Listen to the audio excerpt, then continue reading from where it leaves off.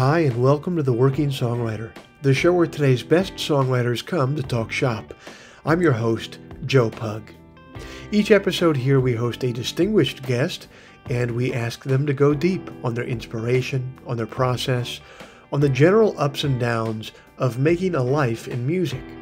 So, whether you're a grizzled veteran, ordering a digital audio interface from Amazon, or else a scrappy upstart, driving to rural West Virginia to purchase an antiquated 2 inch tape machine, this is your show because ultimately it is what every writer seeks most an ironclad excuse to put off actually writing.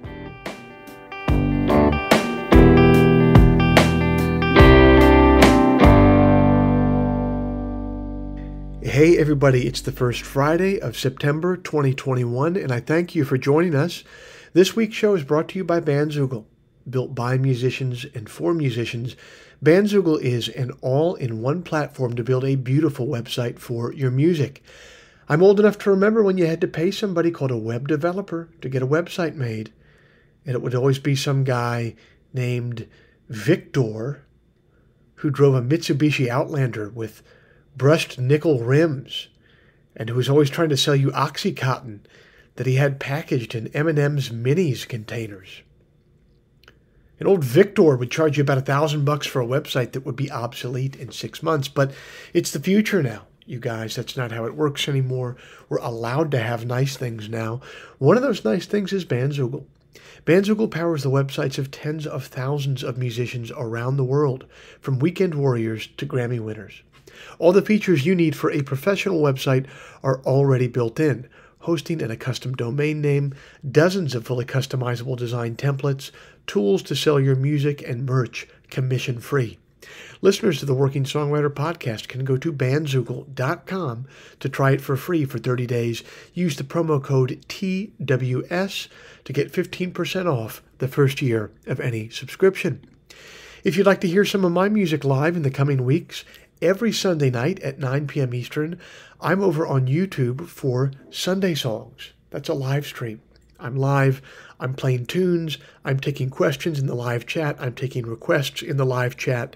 It's a really fun, really interactive experience. I dare to say that we're building something of a community over there on Sunday nights, including many people who are listeners to this podcast. So come on over and be a part of it every Sunday night at 9 p.m. Eastern on YouTube. Head over to YouTube and search for Joe Pug or go to joepugmusic.com and click on the live stream tab. Finally, if you enjoy this podcast, if you'd like to help it remain a viable endeavor for me, here's a couple things that you could do to help. First, you could become a supporter of the show over at Patreon. Patreon is a platform that allows you to directly support creative endeavors that you find meaningful. You just head to their site, P A T R E O N. You search for the working songwriter or you search for my name. Then you sign up to kick in a few bucks every month for the show. Think of it as a voluntary subscription, a subscription that you don't have to pay for, but that you choose to pay for because you dig the show and because you won't miss a few bucks at the end of the month. If just 1% of our listenership would give the price of a cup of coffee every month, it would make an immense difference. So thank you to everybody who's taken the time to do that. I really appreciate you.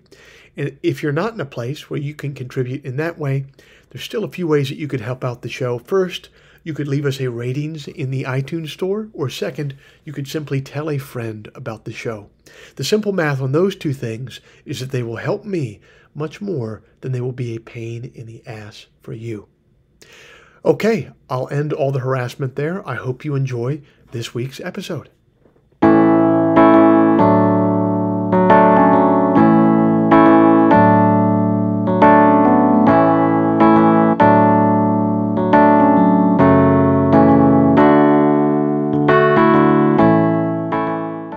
Our guest this week is the principal songwriter of the Felice Brothers, a mainstay of American roots music for the last few decades.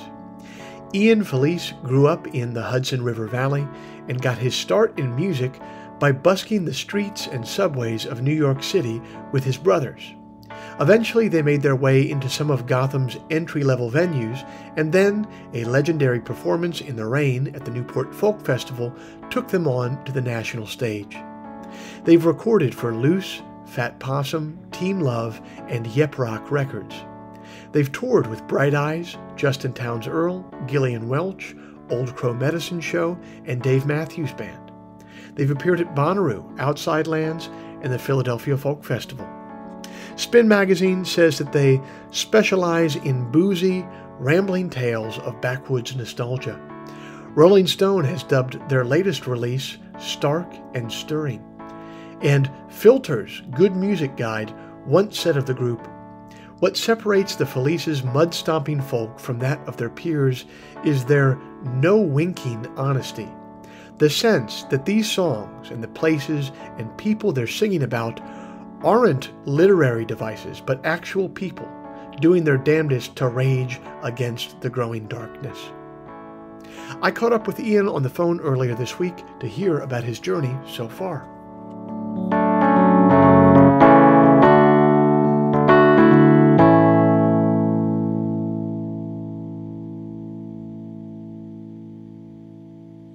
Ian Felice, thanks so much for being a part of the Working Songwriter Pro- podcast. Uh, this has been an exciting interview for me because I feel like our musical paths have crossed in a lot of ways over the last 10 or 15 years, but we've never met. So uh, this is yeah, we, we've never met. That's true, right?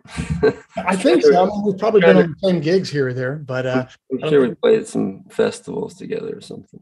Definitely, man. So um, you guys got your start. Well, even before you got your start playing with your brother, you guys growing up in the Catskills, what did music look like in your family and, and in the area up there? It's a really musical region up there. It is a musical region. Um, you wouldn't know it unless you kind of tried to research it. There wasn't a huge scene or anything. I mean, my parents didn't play music at all. Um, just working people that worked too much to play music, I guess. Um, but there's, you know, the old relics of the 60s kind of folk scene. Um, people were still up there, like John Herald, who's a great bluegrass musician. Um, um, there was no venues per se where I lived. I lived in the woods in Palenville. So, um, but there were like i said there were some folk musicians and you know there was the legacy of the area which was important i guess. So do you think you think it was then you know folks who were part of that folk revolution um, in new york city who maybe kind of moved out to upstate new york um, after its heyday? Like you think that's where it kind of got its genesis and its kind of musical flavor up there I think so, but it, it was before that, really. I mean, it was it was a visual arts kind of colony for a long time up here, um, even in like the 1800s, and there was a lot of music, obviously, that comes with that too. Um, but yeah, yeah, the most famous example is from the 60s when like Dylan and Jimi Hendrix and these people were living up here um, in the band, of course. Um, but then, you know, there's been a lot of other folk musicians, um, lesser known ones, you know, that are equally as good. When did music become a part of your life? Like, when did it become something? When did it go from something that you would listen to on the radio or the record player and go to something that you were doing yourself? I started playing music when I was around. I started playing the bagpipes for some strange reason oh, when I was like eight. when I was like eight or nine, um, I got a set of bagpipes and I learned. I went to like a teacher. So I grew up playing folk, uh, like Irish and Scottish folk songs with the bagpipes. Um, and I did the whole marching and the parades and all that when I was very small, little guy. And um, then I kind of, you know, grew out of that when I got into high school and I started to play guitar more and, and piano. And I started to listen to a lot of folk music and um, Jimmie Rodgers. And I mean, I guess first I started to listen to what my mom listened to, which was Joni Mitchell and Bob Dylan. His record "New Morning" was like the the uh, soundtrack to my youth and Joni Mitchell's Blue and Nashville Skyline, um, Neil Young, um, Leonard Cohen, you know, all those, you know, monsters of folk. and then, um, yeah, and then I got into the earlier stuff, probably through Dylan, honestly, because he's, you know, he talks about all the blues singers and got into Willie McTell, and then from there Robert Johnson, and then you know it just all the Piedmont blues artists, and I fell in love with music from the 30s and 40s when I was in high school, and um, but I didn't ever think I was gonna play that.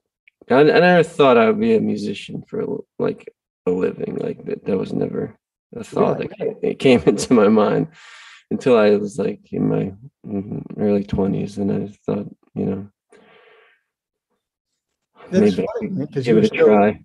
Immersed, I mean, playing the bagpipes at eight, and then getting on into all like these deep cuts in high school, really fairly obscure music. Uh, and, and, yet still you, you didn't feel like music was going to be a path that you did professionally. It was just a hobby or or a love of yours early on. Yeah, it was a love of mine. And I didn't I had other friends like better at music then I didn't think that I was that talented at it. I was I and I was focusing a lot at on um painting and I was, you know, I got into painting in college and I got a scholarship to study art and I went to Italy and studied painting. So I, maybe like since I was like 15 to like when I was 23, I was just focused on on making paintings. But then I just my life got turned a bit upside down and I started a band with my brothers and then yeah, it's called the Felice Brothers and then that's it. It's, it's funny you mentioned there that uh you know one of the reasons that you didn't think music might be your path is because you were around other musicians who were more talented than you were. I had the same experience. A lot of musicians who end up doing it for a living feel like people can really like list off people early on who are just much better than them uh, yeah, you know and uh, but it just kind of shows that it doesn't just take talent to to do it for a living you have to be someone who loves it and gets committed to it because to do it over the long haul you know 10 15 years longer than that um, there's a lot of other uh, uh, character attributes that you have to have together to to keep it together and keep it going. And I've watched very talented people um, you know, drop out sooner rather than later pretty often. Totally. You need a lot of character attributes, you know. Some of them are not you know you need like hubris, you know, you need like yeah. stupidity to think like, oh, I'm actually, you know, this is important what I'm doing. when it's usually when it's usually not, you know, you young people are good at that. of thinking yeah. that they're like what you know that they're on top of the world or something that's it yeah and you need you know passion be a little bit weird and yeah yeah yeah it, yeah you, you have to think what you're doing is important. Even if 99 times out of 100 it isn't you have to be prepared for that one time out of 100 you know. Yeah 100% yeah. So that's a pretty that's a left turn that you took there if you were painting and painting very seriously from you know about 15 to 23 17 to 23 whatever you said there uh, to then go start that band with your brothers is that the period in your life where you guys started playing? I know you started busking in new york city. Is that how things started? And is is that when the left turn began for you? Yeah that is. I made a record of songs um, that I wrote over when I was younger. Um, I probably wrote them from when I was like 19 or 18 to 22, and I recorded them. When I was like 23. It was called Ian Town, and then that was like the the kind of that was the beginning of the band basically. And then we all got together, and then we moved to the city. This was in 20 2006. Um, and yeah, we started busking. I mean, we didn't know how to play music at all. I mean, we were pretty bad, um, very bad, probably. Um, but we were passionate and we were just living by, you know, it was like our religion, our philosophy, our worldview, our whole, our whole life, you know. We devoted to it for many years and we got okay and we got better and better.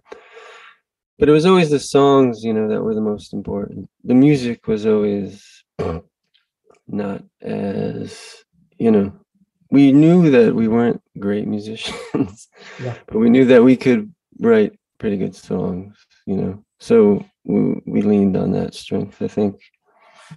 It's totally, I feel like it's totally different uh, muscles that allow you to, one muscle allows you to write good songs and one muscle allows you to be like a virtuoso musician or have musicianship that is uh, um, otherworldly. And man, I have very rarely seen it cross over into both. I mean, you know, there's Prince and a couple other people, man, but it's really tough to do both of those things. Yeah, it is. Mm. I mean, if you're so good at playing your instrument, it's kind of like, what? What's the point? I'll just do this. you know what I mean? You got to find something you're good at and do it, I guess but yeah, yeah it's kind of like opposite sides of the brain. There's like the technical side and then there's the creative side. Yes. And, you know when when they when they kind of meet in the middle that's when you're doing something good i think. Yeah i love it that you guys made the plan to move to new york city and most people who moved to new york city at that time to quote unquote you know make it in entertainment or music like they're out getting like head shops, headshots printed at Kinko's, and and you guys were like, uh, how about this? We're not going to worry about playing Arlene's grocery. We're just going to play on the on the street outside and try to make some cold hard cash here. Yeah, dude, we had to go out to dinner. We had to go to Chinatown to get get the dumplings, man. But you, were you making any dough? I mean, I'm sure you were making some actual dough doing that. If you were doing, we were, yeah, yeah, we hit some good spots, dude. We made like a few hundred bucks a day but we mm-hmm. just blow it. We literally just blow it on on dinner every night. um, but it was like it wasn't a. I mean, there was not that many options. Honestly, it was a different time, and it's like we don't we didn't know how to get gigs, so we just made our own. We just started playing, and then we get asked, you know, for a restaurant would come out and be like, either they'd be like, "Get the fuck out of here," or they'd be like, like, you want to come play in our restaurant? We'll like feed you and give you 50 bucks. And be like, yeah, that sounds great. Love that. You know, and then we moved on to bars and, you know, clubs eventually. It, uh, that really does make you, I mean, well, that's literally singing for your supper there, but do you feel like that, that kind of, that, that experience was formative to what you guys still do now? Like, like, do you still make records on some level, knowing that the record has to be good enough to almost in like a metaphorical sense, get the restaurant owner to invite you in for dinner and 50 bucks rather than, you know what I mean? No, yeah. like I'm kind of being glib, but I'm yeah. kind of not. Yeah, that impulse, it doesn't leave you, you know, if you, if you, if you, that's how you've been brought up, I don't think it goes away. You just, we we I feel like I'm still just like scrapping on the street most of the time. Yeah.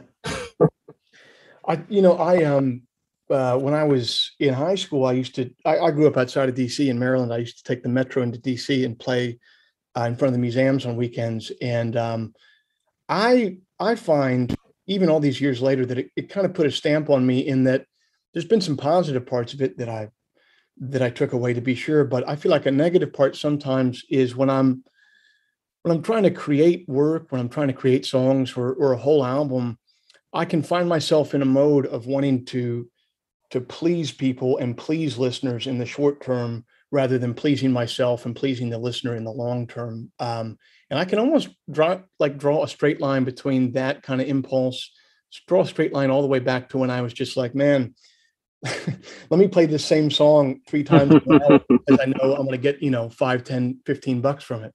Yeah, I feel you. Yeah, that that's that's real. But I think it's pretty dangerous, you know. You have to get away from that, you know. To you have to eventually you just have to say, fuck it, I have to make what makes me happy, you know, or else it's just it's just it, it feels contrived after a certain point, right? Definitely. What was the point for you? Do you remember a time when you took that fork in the road and, and went a different direction and changed things in that sense? Honestly, I, I've always kind of been kind of I, I don't know if I've ever tried to make music that other people would like, honestly. Um I usually, you know, I usually have songs on a record that I don't particularly like as much as the other ones, and those are always the songs that other people like the most. you know, there's always like the ones that I'm just like uh, that that generally people gravitate towards. But I understand that everyone likes their own kind of music, you know. But I try. I've never. I've I've never. I don't think I've ever written songs to try to please anyone else but myself. I don't know. That that is uh that is a rare talent right there, and I, I respect that a lot. Do you uh how did you guys move from uh those you know kind of hard scrabble beginnings to you know uh I mean now you're 10 or 15 years in making a living as a musician, you know, in the music business, doing your thing. Like what was what got you off the street there and you know on the road playing gigs, stuff like that? Like what was the big switch there?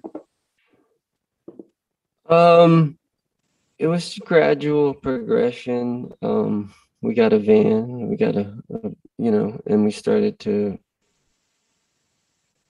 book show actual shows and then we got a a great booking agent, uh, ground control, who booked Bright Eyes and then Conor took us on the road, and um, that was probably a big shift for us. We started, you know, being able to plan tours after that, and uh, yeah, Conor and Bright Eyes have been a big help in the early days and still are.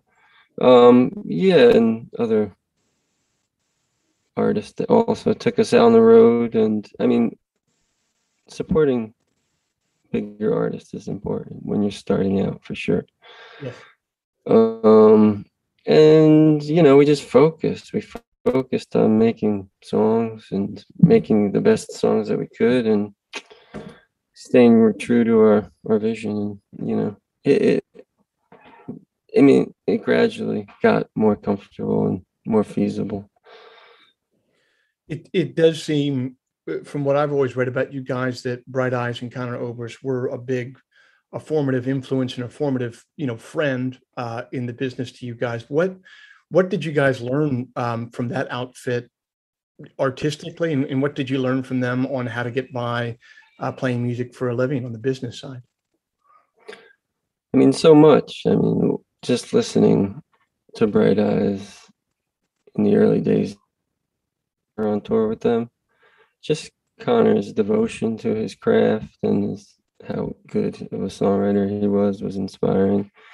His lyrics, because we both kind of lyrics are the most important part of you know songwriting for both of us. So we really bonded over that, and um, I think he really helped me push my writing in a good direction.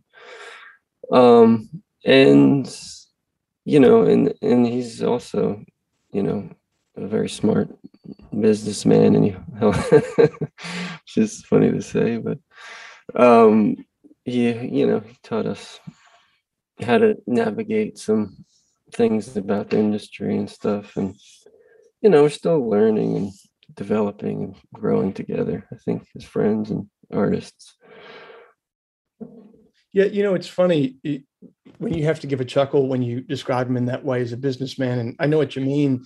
Uh, but you know, I've learned over the years that you know, just because someone isn't wearing, uh, you know, a three-piece suit and you know has a watch chain and and a cigar doesn't mean they don't know what the hell's going on. I've I've always heard from people, you know, in in and around uh, Dylan's world that even at the age that he is now, he he knows exactly what's going on with every gig. He knows the deal on every yeah, for sure. like all that type of stuff. Even now, you know. You can tell you can't be become that successful without being like having that part of you know characteristic. You know. You can't, or, or if you do get that successful, it just makes things spin out of control in such a wild and precipitous fashion that it just mm-hmm. comes crumbling down really quick. Totally, totally. Yeah. Uh, money is gasoline, man, and that can it can add, to a fire that you're trying to make a rocket ship go off the ground with, or it can help you self-immolate. But it's gasoline one way or the other, you know. Yeah. For sure. Um, did you? Uh, how did you handle um, touring early on? Because that is a different thing, man. Like getting in a van and heading on the road, you know, in your twenties, uh, away from all family and friends except for your little crew in the van. Um, did you take to the touring life and enjoy it, or did it put a stress on you, like, or somewhere in between? What was your experience with it? I loved it. I mean, it did put a stress physically. Like I, like it was hard. We, I ended up in the hospital. You know, at Really? some point because we were just pushing too hard, playing too many shows, um, in a row, and traveling and just drinking too much, and just you know, just living like psychopaths. Sleeping in, you know, the parking lots of Walmart for like months, months. You know what I mean? Just like I could I never back- I Oh, can never go back to that situation, you know. Um, but it's a period in your life you got to do. Um, but I loved it. I loved traveling. I loved, you know, just being transient. I mean, it just it's a good feeling for me. And I didn't love playing music. I mean, I didn't love like performing back then. I I, I liked more the travel and the, the the adventure of the whole situation, and the, the music was kind of like the means by which I could do that. um, I liked music and writing music, but the the performing was performing was you know it was hard on me a little bit. Um, but that's changed as I grow grown older. I don't like traveling as much, but I actually I do like to sing songs for people and, and to share our music with people now. So there's been a shift there, and um, I think it's good. Hopefully, growing somehow. Yeah, yeah, yeah. yeah, but yeah, touring is it's insane. There, there was something really. I mean, I spent my twenties in the same way. I used to come home from tours, and uh, my now wife, then girlfriend, we, she'd always say when I come home from a tour, I would just be gray, like my my skin would be gray because all I did was just pretty much eat McDonald's for two months, smoke a pack of cigarettes a day, and just drink hard liquor every night. And it does sound like a nightmare to me now. I'm not going to lie, but I'm 37 now. But at 27, 25, 26, 27, like it was pretty much how I envisioned my life going when I was a kid. I was having a great Yeah. time. It's paradise. It's just, you know. You guys, just a strange- We were both. Um, I know I, I did a ton of touring with Justin Townes Earle at that time. I know you guys did a fair amount. You at least did some tours of Australia with him. Is that right? Or, or you did some more? Did we do Australia with him? I think, yeah, we I don't know. did. Maybe we did huge tours with him in, in the States in like 08. Yeah. Um, and we, yeah, we traveled all around. He was just, it was the duo, him and Corey. Yeah. Um, just plays in Old Crow now. I think, I don't know. Um, and then, yeah. And then we had a big tour called the Big Surprise Tour that was had Gillian Welch and Old Crow and Dave Rawlings and us and um, Justin Townsend. That was in 09. That was a good big tour as well. As far as my musical taste goes, that's a pretty much that's an all timer tour right there, man. I- That was that was a fun tour, yeah, for sure. Yeah. I remember, so I picked up with him pretty much right after when he had moved. I guess Corey joined, joined Old Crow, and that's when Headley uh, picked up with Justin, and Bryn Davies was playing bass. And there was just such a feeling at that time for Justin in particular, where like it was one of those tours where the they booked the clubs at a time um, where they thought that the demand was going to be a lot less, and then everything sold out because he was just kind of taking off. And it was just such a magical it was awesome for me to be along for that ride and to watch like the zeitgeist pick up someone in their music uh, in real time it was an amazing thing to watch it sounds like you guys were around uh, to see that as well Yeah, yeah, it was. I remember that time as well. Yeah, he was such a great, talented, sweet person, man. It's very sad. yeah and he i mean he had his way with an audience man he he really he was like an old school performer. He was like the type of performer that would like get into it with a heckler. Uh, for you know I mean? yeah, yeah, old school one. We would get into it with the club owners and back in the day. Oh yeah, and just we would, yeah, we were insane. Wait, you guys would, or are you talking about Justin would? At one time, I think this one club owner w- didn't pay Justin for um, his gig for some fucked up reason, and then like he called the club owners like, "I'm sending the Felice brothers over there to kick your ass." Everything he called us up, it was like, "Yo, got to get my bag." I think it was in Minneapolis. yeah. Um, yeah, it, we've had some some times together.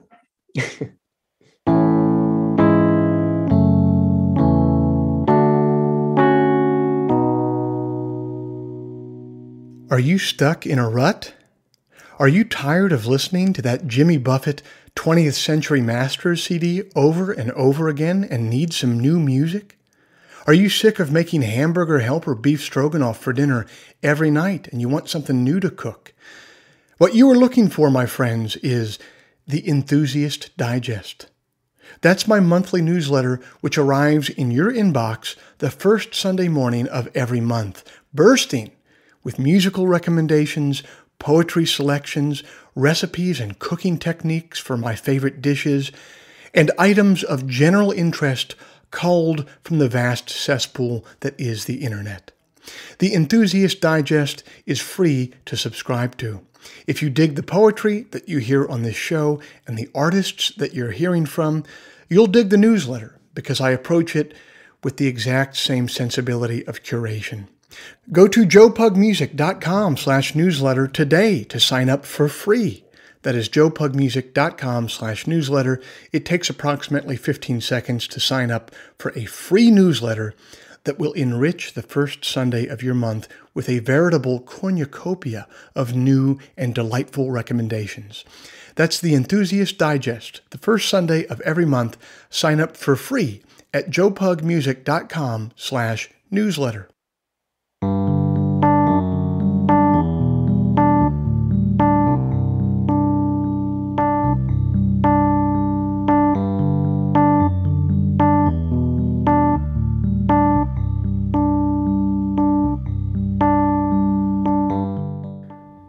Was growing up, I admired and wanted to be like artists and poets. Now, today, our creative class goes under a different set of designations and labels, sometimes called influencers or self described content creators. And that's fine. I'm not going to begrudge a new generation its jargon, but I will say it seems like Ian fits squarely into that old school class of artists. People who did not concern themselves with marketing or brand synergy or, frankly, any expectations that were put on them at all. And there's a wonderful poem by Alex Dimitrov that speaks to the pain that comes with concerning yourself with those things. It's entitled Monday. I was just beginning to wonder about my own life, and now I have to return to it regardless of the weather or how close I am to love. Doesn't it bother you sometimes what living is, what the day has turned into? So many screens and meetings and things to be late for. Everyone truly deserves a flute of champagne for having made it this far, though it's such a disaster to drink on a Monday to imagine who you would be if you hadn't crossed the street or married, if you hadn't agreed to the job or the money, or how time just keeps going. Whoever agreed to that has clearly not seen the beginning of summer, or been to a party, or let themselves float in the middle of a book where, for however briefly, it's possible to stay longer than you should. Unfortunately for me and you, we have the rest of it to get to. We must pretend there's a blue painting at the end of this poem, and every time we look at it, we forget about ourselves. And every time it looks at us, it forgives us for pain.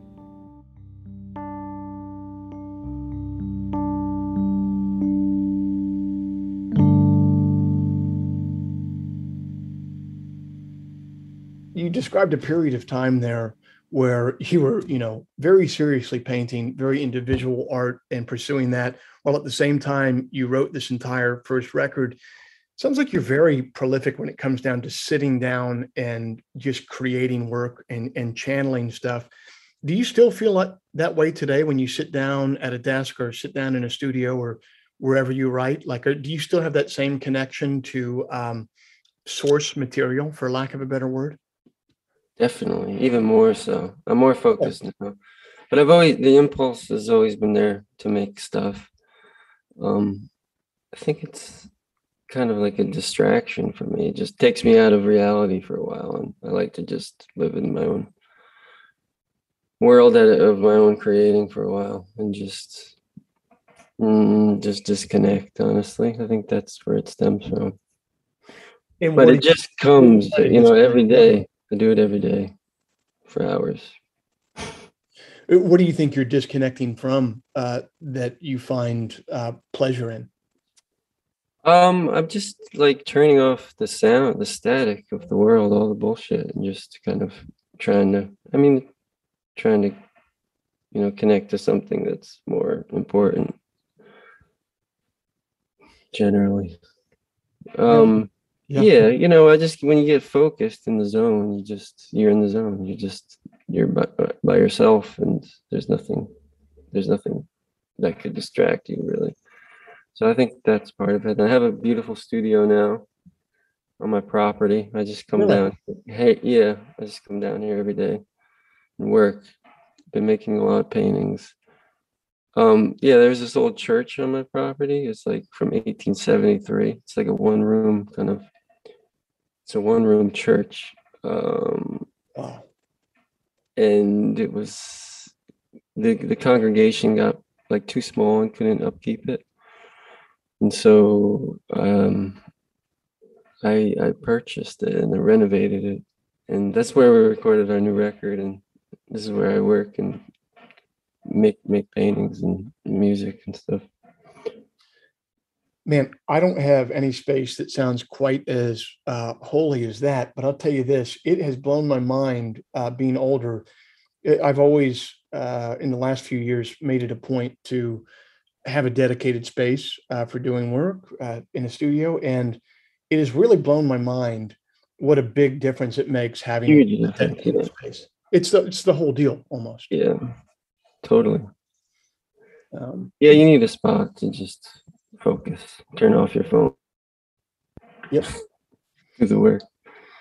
Turn off the phone. And then it's weird, like at a certain point, it almost has like this Pavlovian response in you. Like once you walk into the space, it your your subconscious begins to drool in a way. Like it it knows like now this is the time yeah. you know? Yeah, for sure. Yeah. Spaces are very important to me. They are. So you write and you record in there. Are you pretty handy? Uh, yeah, I'm not. I'm horrible at recording. Um, my brother James, he, he's really sharp at it. He's really good. He do, he does all the engineering and stuff. I mean, it took me like three hours to try to figure out how to hook this mic up to do this interview. and I, am I'm still not sure if it's gonna work. I appreciate. I was like, send, I'm like sending James photos of like the mic and like, where should I put this microphone? you know, I do think it's important though uh, for any creative outfit, even if one person doesn't know what's going on. Like, I think in this day and age, um, any songwriter in their creative outfit, they they have to have someone that can do um, recording or who are at least fluent in it because it's such an important part. Knowing the medium is such an important part of getting the ideas across, you know? Well, yeah, 100%. I wish I had more knowledge about it. I just something I'm good at. And, you know, when you grow up together and, you know, you start a band, people adapt, you know, and they, they become good at things that need to be people to become good at. you know what I mean? Yes.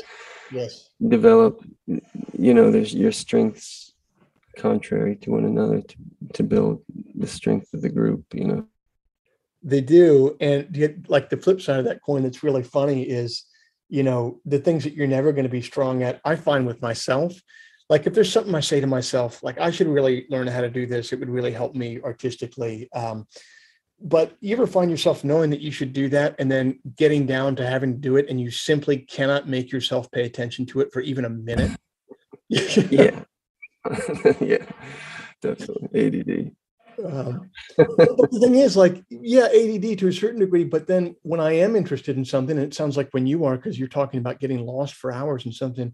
When I am interested in something, it's the opposite of ADD. I, I can be lost in it, but if I'm not interested in it, it just, you know, you couldn't put hot coals to my feet and make me pay attention to it, man. Hmm. Interesting. Um, how do oh, oh, I got you back. I think I, I I lost you for a little while. Oh, gotcha.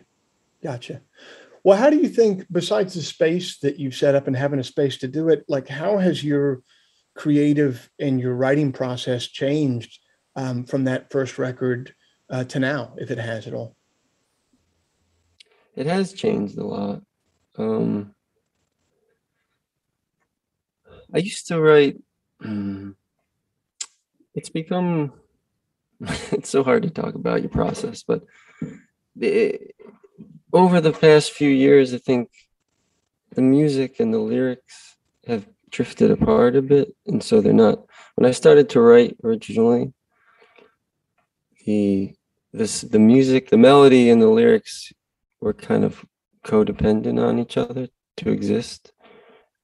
Now, when I write, I write a lot of poetry, and a lot of times i can develop lyrical ideas independent of melodies and then i can um, kind of change the meter of the of the poem to fit within the melody that i've written so it's almost become two disciplines at this point where i can write melodies and i can write music and i can do this separate practice which is write poems and they can become, you know, they can be melded together.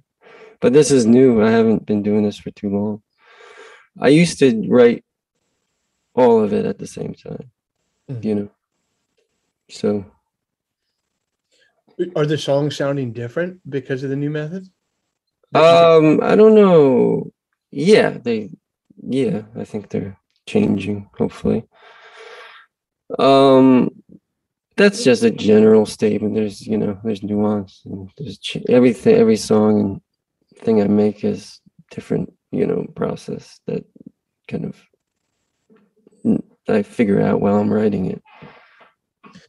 It's funny. I, I've actually kind of gone the complete opposite direction. I, I used to write when I started out the way that you're describing there, you, you know, completely starting with kind of blank verse or, or poetry and then putting it into a song. And I've kind of gone more into writing it all at the same time. And the reason was I started really running into this problem where I'd work for hours and hours and hours on a poem to get like, you know, these couple tiny words exactly right. And then as soon as I took them to the guitar, I knew in like 15 seconds at the guitar that it wasn't going to work. Yeah. So, yeah, it's it, so... man. I just burned like eight hours working on this. and if I had the guitar in my hand in the first place, I would have known in 15 seconds that it was fucked.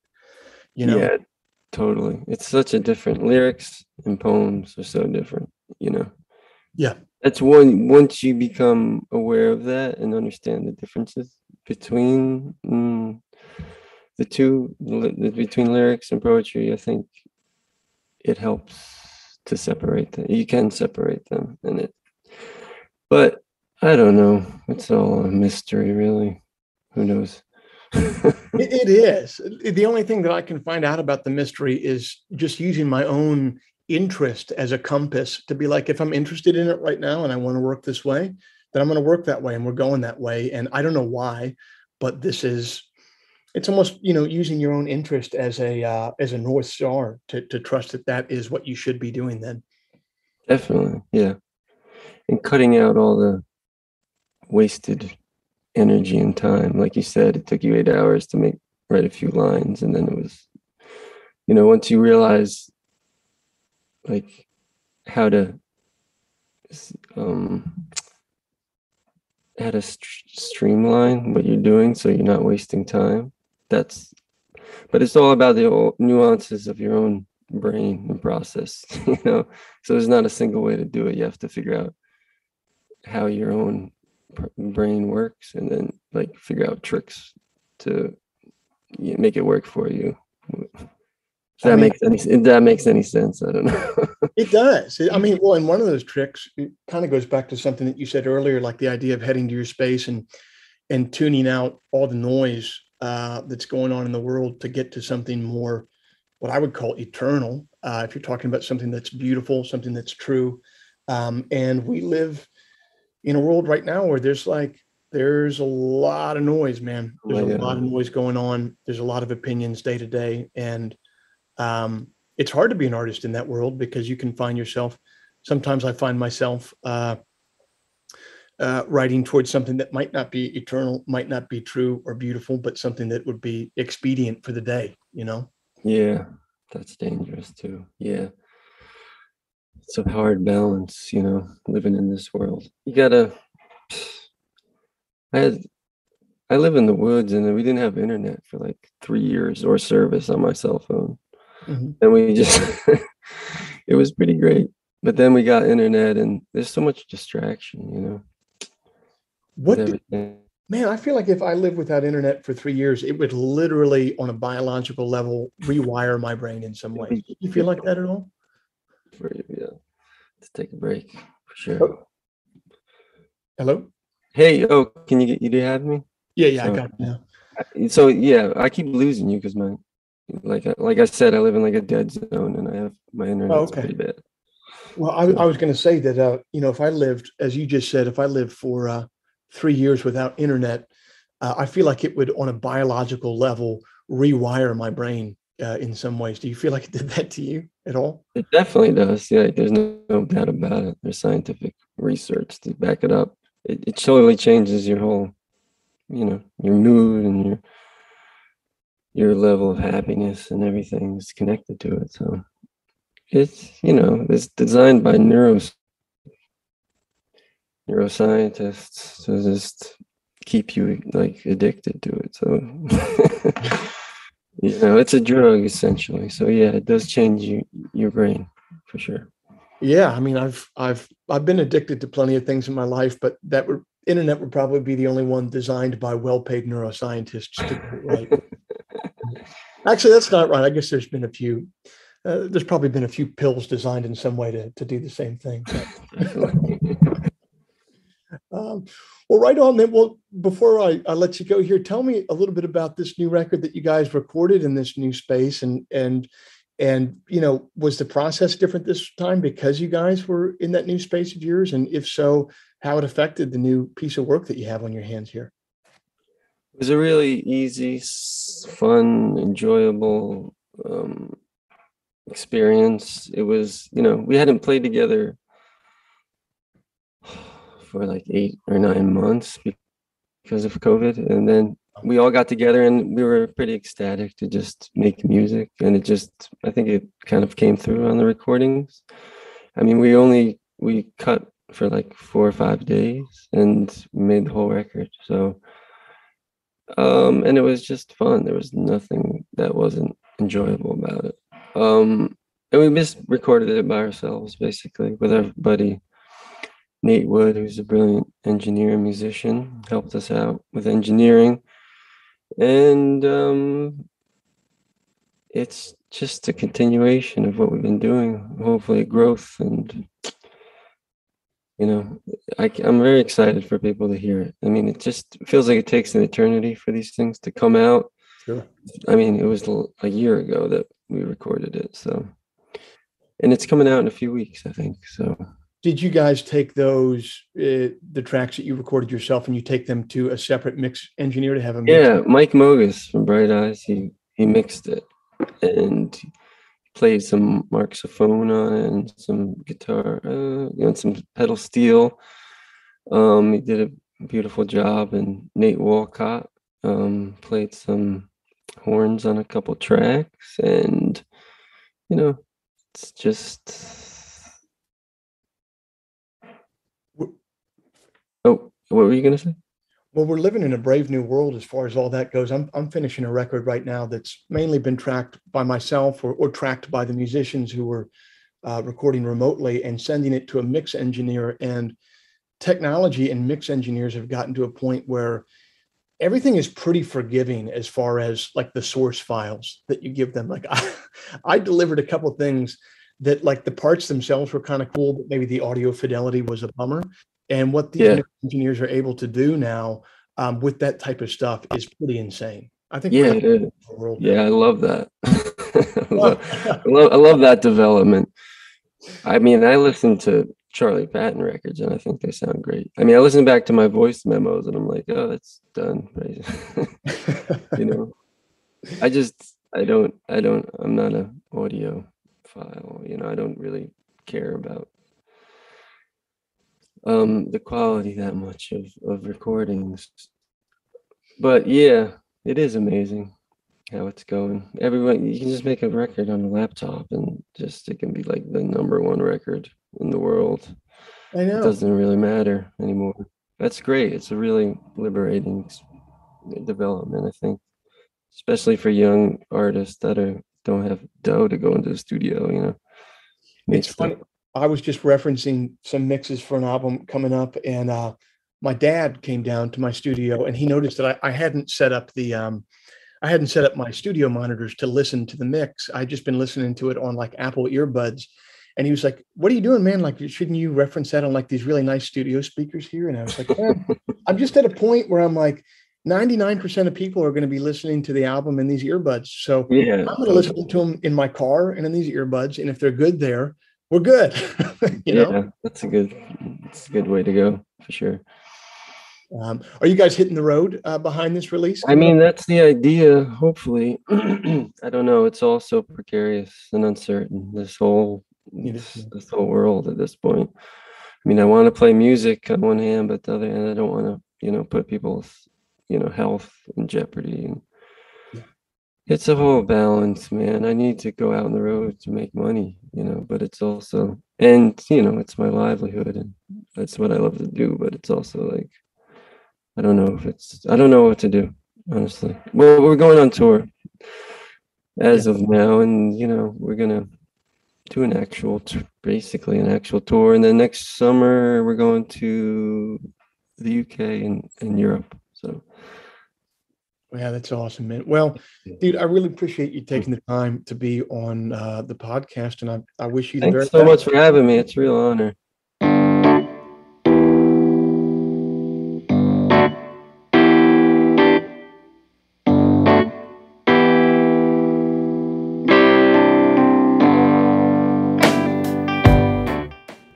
This week's show is brought to you by Bandzoogle. Built by musicians and for musicians, Bandzoogle is an all-in-one platform to build a beautiful website for your music. Use promo code TWS, the initials of our podcast, TWS, to get 15% off the first year of any subscription. The Felice Brothers' forthcoming album is entitled From Dreams to Dust, available everywhere music is sold or streamed on September 17th. If before we meet again you sit down to write, please remember an expensive drug habit is not a song, a compelling Instagram account is not a song, and most importantly, reverb is not a song. So let all that take care of itself, and for you, just keep your eye on the song.